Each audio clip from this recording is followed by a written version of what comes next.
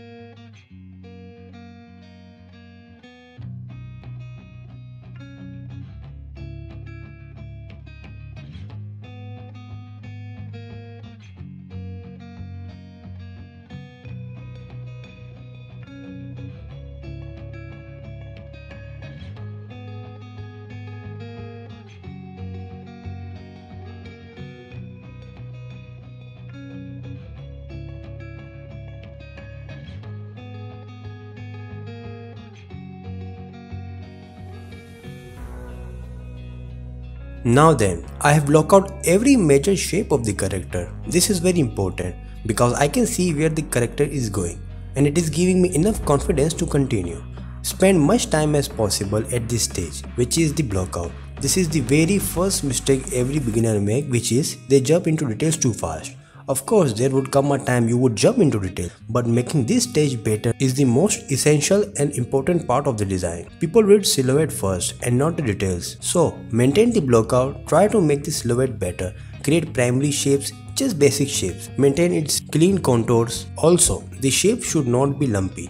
Block out clean shapes, smooth out the forms, and look to the model not just from one angle but every single angle. It is 3D you have to think like a 3D artist all the time. And this is it. In the next video, we will continue our sculpting, how to merge all these parts clean as possible. If you haven't, I recommend you check out my store. Your support makes a difference. I will see you on the next video. Until then, take care.